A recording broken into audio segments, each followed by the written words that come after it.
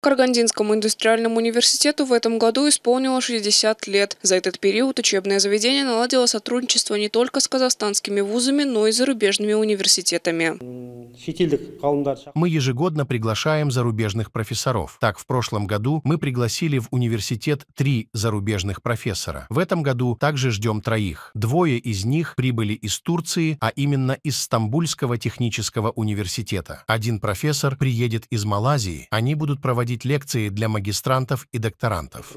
На сегодняшний день вузом заключено 86 контрактов с 23 университетами. Студенты имеют возможность пройти стажировку, посетив производственные предприятия четырех стран. В прошлом году Семь студентов поехали в турецкий университет Гази, а в этом году мы направляем студентов в Европу. Четыре студента посетят Польшу, еще два – Болгарию. Там они проведут один семестр. Как говорят специалисты, тесные отношения с вузами зарубежных стран значительно обогащают деятельность университета, расширяют сферу интересов и практических результатов в науке, а также способствуют приобщению коллектива к мировой культуре. Юлия Исланова, Армана Булхасымов, Андрей Майорка, Новости Тимиртау.